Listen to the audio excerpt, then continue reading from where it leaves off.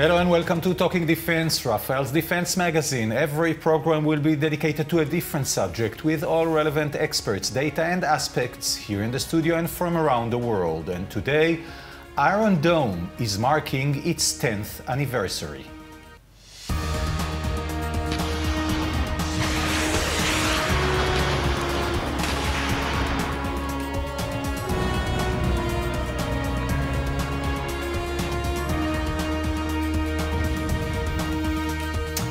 And with me in the studio is retired Brigadier General Pini Yungman, Executive Vice President and General Manager at Air and Missile Defense Systems Division at Rafael. Thank you very much, sir, for joining me.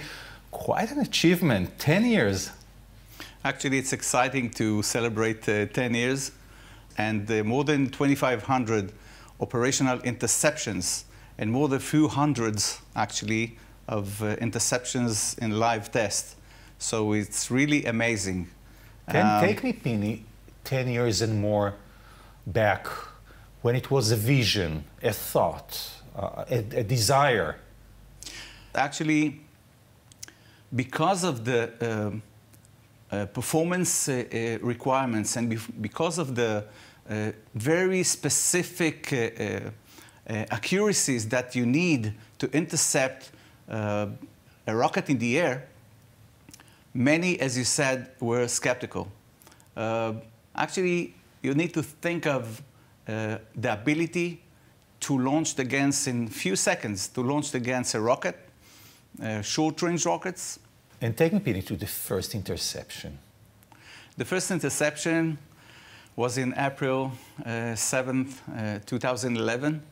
Actually, Yossi Drucker was my boss, and we were in the US uh, on the way, driving to one of our uh, industries in the US uh, production industry in, in Orlando.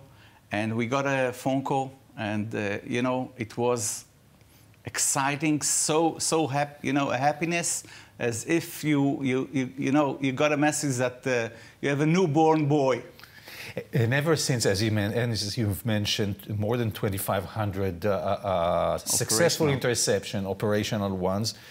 And what's, what lies in the future? Because uh, uh, the current Iron Dome is not similar to the original one, and now you deal with cruise missiles and UAVs, et cetera, et cetera. So it's a whole new ballgame. Yeah, actually, since, uh, uh, since the first interception, operational interception in 2011, we continuously uh, upgrade the system, uh, investing a lot of, uh, in, with the Ministry of Defense, with the MOD, and with the IMDO, actually, in the, in the last almost seven, eight years, investing in upgrading the system. The system is not the same as it was 10 years ago. If uh, uh, the requirement were to intercept short-range rockets, uh, especially from Gaza Strip, uh, today actually the Iron Dome system, only with uh, algorithm and software, without changing the hardware of the system, we succeed to uh, upgrade the, and actually I'm, I'm saying usually we, we squeezed the physics uh, like we can uh, uh, squeeze, you know, a lemon. We squeezed the physics and with software and algorithm, we upgraded the system in a way that in the last few months that we conducted tests, we achieved uh, the, the performance and the capabilities to intercept uh, uh, huge salvos, many, many different of, you know, threats like UAVs, like cruise missiles, like ABTs, and actually everything in parallel. So the system is totally different with the performance and the capabilities that it, it was in, in 10 years ago. And, and you get here uh, uh, uh, after a very successful test that you've uh, uh, committed a couple of weeks ago. Testing what? Uh, we had few tests. Uh, maybe I will start with the greatest test uh, that I can mention. That the first time in the world, I think, we uh, conduct a test, uh, full interoperability between systems.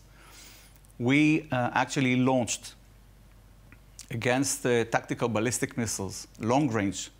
Uh, we launched David Sling, okay, first, and then we launched uh, Iron Dome in parallel against the same threat when the coordination between the systems are perfectly, worked perfectly, And this is actually, we, we say it's, it's, it was the first time full interoperability. The Arrow played also in this game as a detector, as a tracker with the radar. And actually, we operated the first time three layers operationally. So in, in parallel, we had the David Sling interceptor, the stunner in the air, flying to the target, flying to intercept the threat, the TBM.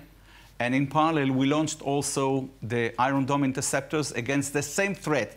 It means in the air, in parallel, we had few Tamir Iron Dome interceptors, David Sling interceptors, and uh, actually the threat, the TBM as a target that uh, uh, flew to hit a ground uh, area, a not, ground defended area. Not many years ago, all of that sounded like science fiction. When foreigners come to Israel, it's no secret that the US Army bought two uh, uh, batteries of Iron Dome. When foreigners from other countries come over and look at Iron Dome and see that, what do they say and how, how big is the desire around the world to, to get to this club of owning Iron Dome? Actually, I can, I can mention that uh, uh, it's not a secret that the, the US Army uh, uh, with the Israeli army, with the Israeli air defense forces, are deploying and exercising together uh, a few times a year. And a very big exercise like uh, Juniper Cobra or, or Juniper Falcon once a year, once, once in two years. So they are deploying here their system. We are doing actually interoperability be between, actually by simulation, with all the systems, Iron Dome, David Sling, Patriot, THAAD, and other systems like the SM3 in the Aegis. But the performance of the Iron Dome, as I mentioned, with more than 90%, uh, uh, 90% of uh, success, actually it's amazing.